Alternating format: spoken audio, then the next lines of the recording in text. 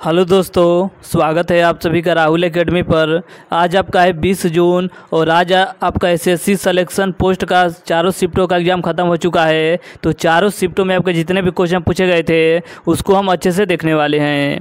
और अगर आपको इसका पीडीएफ चाहिए तो नीचे टेलीग्राम का ग्रुप दिया गया है। वहाँ से ज्वाइन होकर इसका पी प्राप्त कर सकते हैं। तो चलिए ये शुरू करते हैं। देखिए, आपका पहला क्वेश्चन दिया गया था कि आंध्र प्रदेश का प्रमुख नृत्य कौन सा है? तो कुचिपुड़ी इसका करेक्ट आंसर हो जाएगा। अगला क्वेश्चन था कि अरुणाचल प्रदेश का जनसंख्या घनत्व कितना है? तो सत्रह व्यक्ति प्रति वर्ग किमी है।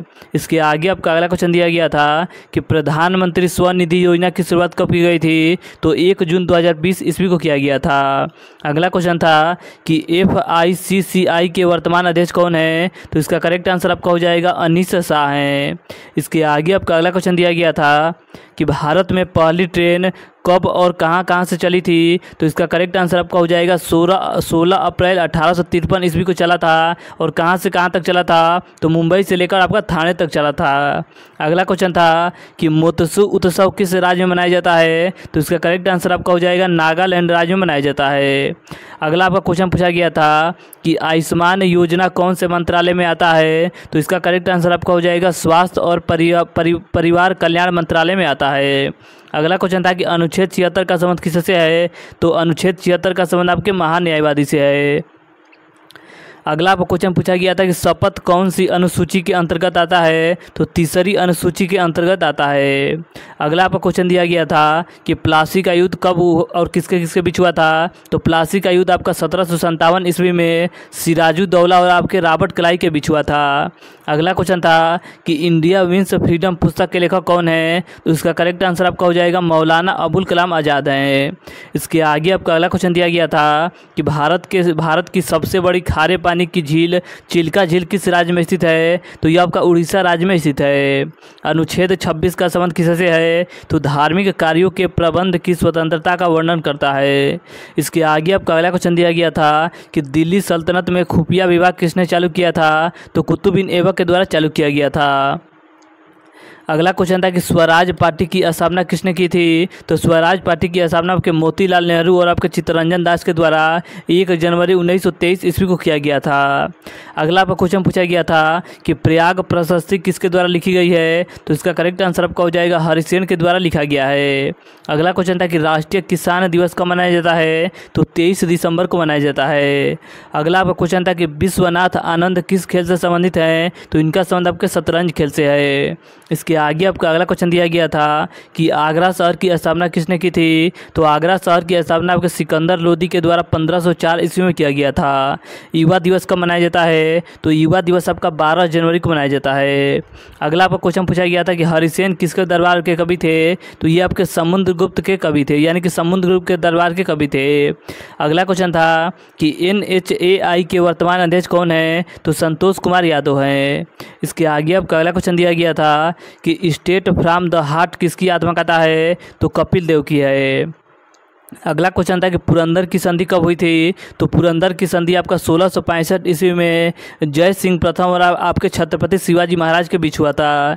अगला आपका क्वेश्चन पूछा गया था कि अनुच्छेद 124 का संबंध किससे है? तो सर्वोच्च न्यायालय से है। अगला क्वेश्चन था कि अनंत आर कृष्णन का संबंध किससे है? तो इनका संबंध आपके तबला वाद्य यंत्र से है। इसके आगे आपका अगला क्वेश्चन दिया गया था कि बक्सर का युद्ध कब हुआ था? तो बक्सर का युद्ध आपका सत्रह सौ चौंसठ ईस्वी में सिराजुद्दौला और आपके ईस्ट इंडिया कंपनी के बीच हुआ था। इसके आगे आपका अगला क्वेश्चन दिया गया था कि फकीर और कीर्तन नृत्य किस राज्य से संबंधित है? तो ये दोनों नृत्य आपके पश्चिम बंगाल राज्य के प्रमुख नृत्य हैं। अगला क्वेश्चन था कि दूध से दही बनने में कौन सा जीवाणु सहायक होता है? तो लैक्टोबेसिल्स होता है। तो इसे आप अच्छे से याद रखिएगा कि लैक्टोबेसिल्स होता है। अगला क्वेश्चन दिया गया था कि बंगाल में मुस्लिम पुनर्जागरण के जनक कौन है? तो इसका करेक्ट आंसर आपका हो जाएगा नवाब अब्दुल लतीफ़ खान है। अगला क्वेश्चन था कि बिरजू महाराज का संबंध किस नृत्य से है? तो इनका संबंध आपके कथक नृत्य से है। अगला क्वेश्चन पूछा गया था कि विद्युत का विद्युत का चालक सबसे ज़्यादा कौन सा धातु होता है? तो आपका चांदी होता है। अगला क्वेश्चन था कि छियासीवा संविधान संशोधन संबंधित है। तो इस संशोधन के तहत भारतीय संविधान में तीन नए शब्द, समाजवादी, धर्मनिरपेक्ष और आपकी अखंडता सब जुड़ गए थे।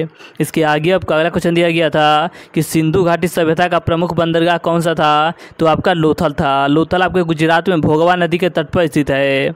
अगला आपका क्वेश्चन पूछा गया था कि लोधी वंश का संस्थापक कौन है? तो लोधी वंश का संस्थापक आपका बहलोल लोधी था। इसके आगे आपका अगला क्वेश्चन दिया गया था कि कालिदास की रचनाएँ बताइए। तो देखिए, कालिदास की रचनाएँ आपका मेघदूत है, कुमार संभवम है, अभिज्ञान शकुंतलम है। अगला क्वेश्चन था कि बिलग्राम का युद्ध कब हुआ था? तो बिलग्राम का युद्ध आपका 1540 ईस्वी में हुमायूं और आपके शेर शाह के बीच लड़ा गया था। अगला क्वेश्चन पूछा गया था कि यक्षगान कहाँ का लोक नृत्य है? तो यक्षगान आपका कर्नाटक का प्रसिद्ध लोक नृत्य है। एनिमी, एनिमोमीटर से क्या मापा जाता है? तो एनिमोमीटर से आपका हवा की शक्ति तथा गति की माप की जाती है।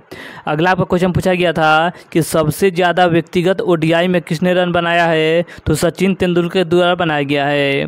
अगला क्वेश्चन था कि कोशिका का पावर हाउस किसे कहा जाता है? तो कोशिका का पावर हाउस आपका माइट्रोकांडिया को कहा जाता है। अगला आपका क्वेश्चन दिया गया था कि प्रधान प्रधानमंत्री उज्ज्वला योजना कि, कितना बढ़ाया गया है? तो प्रधानमंत्री उज्ज्वला योजना का आपका तीन साल बढ़ा दिया गया है और इसकी शुरुआत कब की गई थी? तो इसकी शुरुआत आपका 2016 ईस्वी में किया गया था। अगला क्वेश्चन था कि शाहजहाँ को किसने कैद किया था? तो शाहजहाँ को आपके औरंगज़ेब के द्वारा कैद किया गया था। अगला आपका क्वेश्चन पूछा गया था कि बुल्स आई का संबंध किससे है? तो बुल्स आई का संबंध आपके निशानेबाजी से है। बोनालो उत्सव किस राज्य का उत्सव है? तो यह आपका तेलंगाना का प्रसिद्ध उत्सव है। अगला क्वेश्चन था कि आपातकाल के समय लोकसभा को कितना बढ़ाया बढ़ाया गया था? तो देखिए, आपातकाल के समय आपका लोकसभा के कार्यकाल आपका पाँच वर्ष से लेकर छः वर्ष बढ़ा दिया गया था। यानी कि पाँच वर्ष था और इसे छः वर्ष बढ़ा दिया गया था। इसके आगे आपका देखिए, अगला क्वेश्चन पूछा गया था कि किस नृत्य में पाँच चरण होते हैं? तो पाँच चरण आपका भरतनाट्यम नृत्य में होता है। अगला क्वेश्चन था कि अनुच्छेद इक्कीस का संबंध किससे है? तो अनुच्छेद इक्कीस का संबंध आपके कानून द्वारा स्थापित प्रक्रिया के अनुसार कोई भी व्यक्ति अपने जीवन या व्यक्तिगत स्वतंत्रता से वंचित नहीं हो सकता है।